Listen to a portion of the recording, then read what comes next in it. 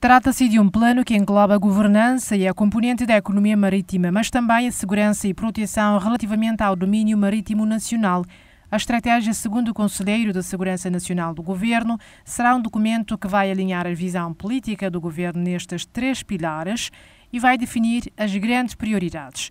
Nesse sentido, disse que pretende-se estabelecer os objetivos gerais e específicos e dar orientações para a elaboração do plano de implementação. Para isso, diz que vai ser preciso rever o quadro institucional e legal para ver se se mostram os mais adequados e encontrar formas de gerir e captar mais recursos para se efetivar o plano.